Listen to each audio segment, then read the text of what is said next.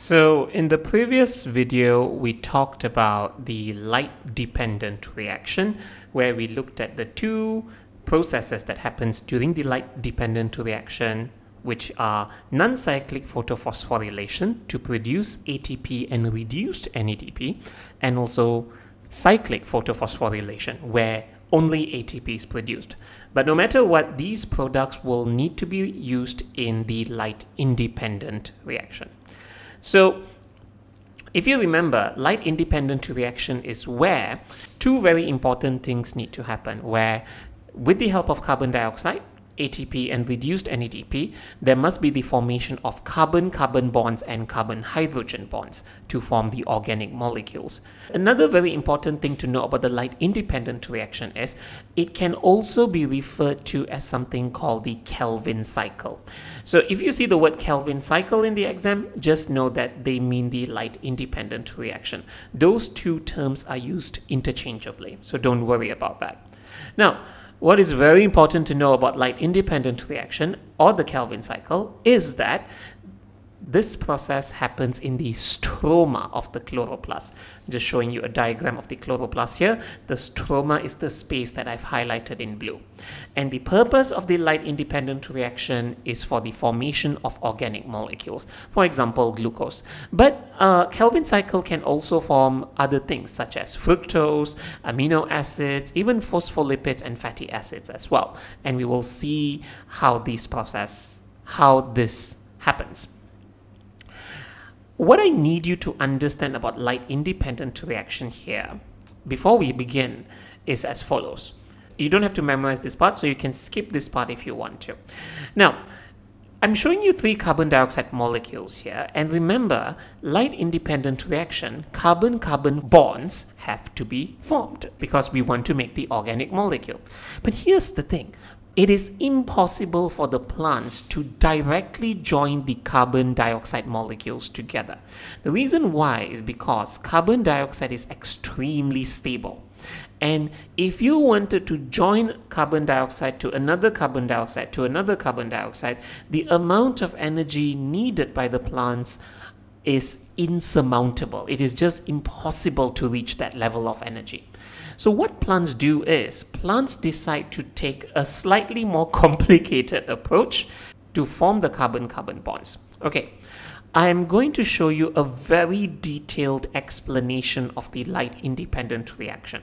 I don't need you to memorize this part of the video, but it helps us understand the Calvin cycle or the light independent reaction in detail. So I would recommend that you watch this part of the video as well. Now, I know we want to make glucose molecules and glucose is made up of 6 carbon. But for the sake of simplicity, let's just start with 3 carbon dioxide molecules which are represented in those black dots. So each dot represents one carbon dioxide molecule. Now, in this stroma of the chloroplast, there will be another molecule called RUBP ribulose bisphosphate. In the exam, you can just call it RUBP, that's okay. And if you look at the RUBP, they are the five carbon molecule represented by those five orange circles joined with each other. So one molecule of RUBP is made up of five carbon. All right.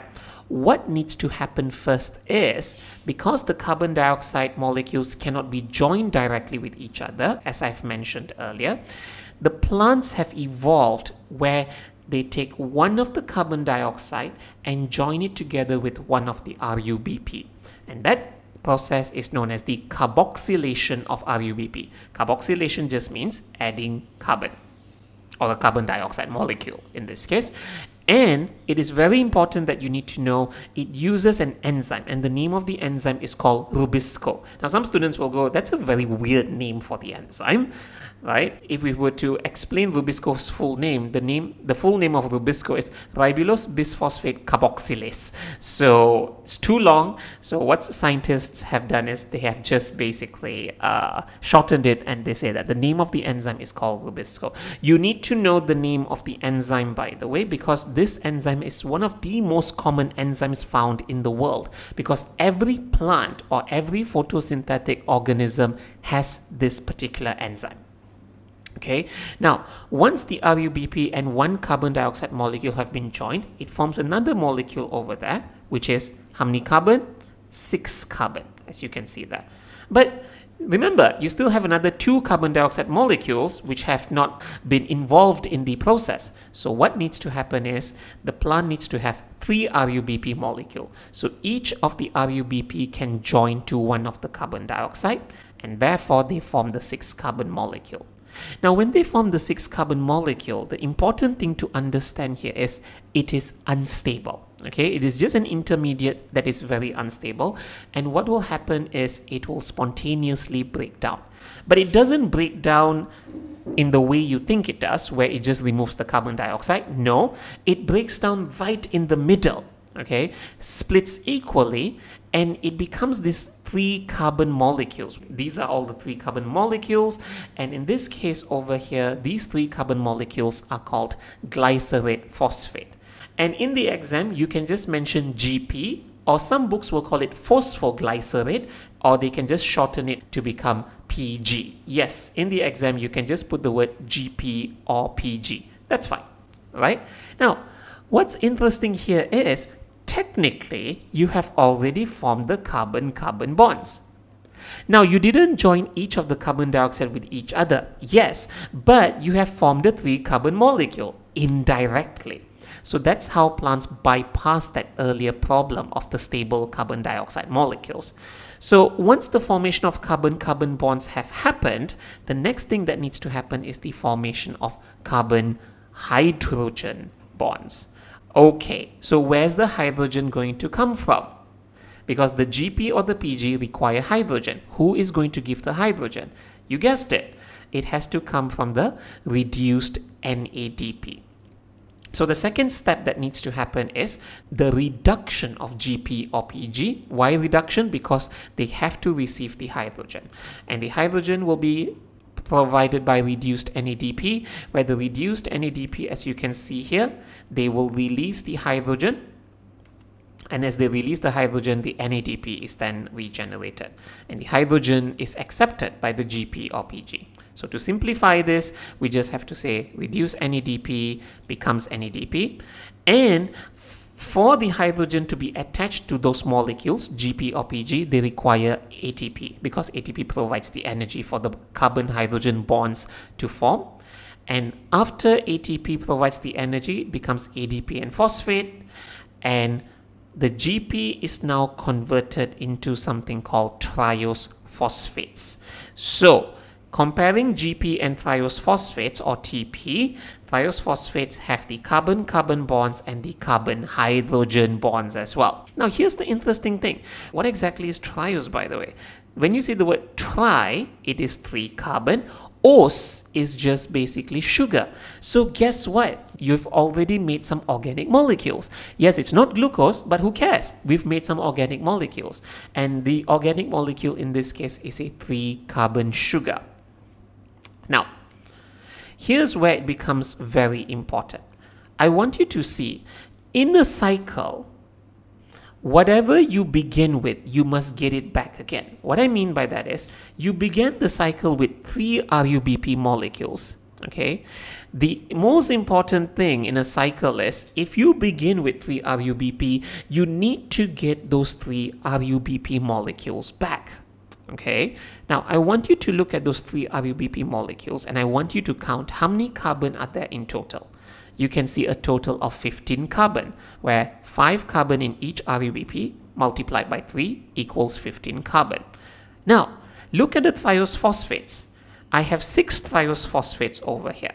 My question to you here is as follows. How many triose are required to regenerate 3 RUBP? In this case, I only need 5 of the triose phosphate molecules. Why five of the triose phosphate molecules? Because if I just basically encompass the five triose phosphates, how many carbon are there in total? 3, 6, 9, 12, 15. So I can use those five triose phosphate molecules to regenerate the RUBP, okay, where the triose phosphates will be broken down, reformed, broken down, reformed, broken down, reformed, and I'll regenerate my three RUBP molecules. But this process requires ATP. That's why in the light dependent reaction, when we talked about light dependent reaction earlier, extra ATP needs to be produced so that the regeneration of RUBP can happen. Now, you only used 5 of the triose phosphates to regenerate the RUBP. You are still left with one triose phosphate. What do we do with that? Well, that is the organic molecule. And that organic molecule will be used to make your glucose, amino acids, or whatever. So, the steps in light independent reaction or Calvin cycle are split, are divided into three where the first thing is carboxylation of RUBP using the enzyme Rubisco, second, reduction of GP or PG, and third, the regeneration of RUBP. To simplify this for the exam, okay, this is what you just need to know for the exam. RUBP, which is a 5-carbon molecule, is carboxylated with, well, carbon dioxide, catalyzed by the enzyme Rubisco. It forms a 6-carbon unstable molecule, which splits to become PG or GP. PG or GP undergoes reduction. But for the reduction to happen where they receive the hydrogen to form the carbon hydrogen bonds, that process requires ATP and also reduced NADP. Then you get something called triose phosphate or TP. You can just put the word TP in the exam, don't worry about that. And some of the TP have to be regenerated back into RUBP and that process requires ATP. In my, in my video here, I didn't write the fact that it requires ATP. So could you please add that as well? All right. Now, but not all the triose phosphates will be used to regenerate the RUBP. The excess triose phosphates that you get will be used to synthesize organic molecules, such as hexose sugars. Examples of hexose sugars, six carbon sugars, will be things like glucose, fructose, and such. So some of the glucose can be converted into cellulose, beta glucose converted into plant cellulose, which is the part of the plant cell wall. Some of the hexose sugars can be condensed together to form sucrose, where they can be translocated to the sink through the phloem. Some of this glucose can be converted into starch to be used as energy storage. One very important thing to also know is some of the organic molecule, the triose phosphates, can be added together with ammonium or nitrate, which contains nitrogen. And when they are added with ammonium or nitrate, they can form amino acids. So remember, photosynthesis is not just to form glucose, it's to form all the other organic molecules as well. Okay. In fact, here's the weird thing. Sometimes the phospho you don't have to memorize this, but sometimes the phosphoglycerates or the GPs, uh, PGs or GPs, which I've highlighted in pink, they can be directly converted into fatty acids and glycerol, which can be used to make your phospholipids and triglycerides. So you don't have to memorize the ones where I have uh, talk when I, where I'm talking about fatty acids and glycerol, but you do need to know that some of the triose phosphates can be converted into glucose, which becomes starch, cellulose, or sucrose, or some of them have to be added together with ammonium or nitrate to become amino acids. That part is very important. So that's basically what we have to know about the Calvin cycle or light independent reaction.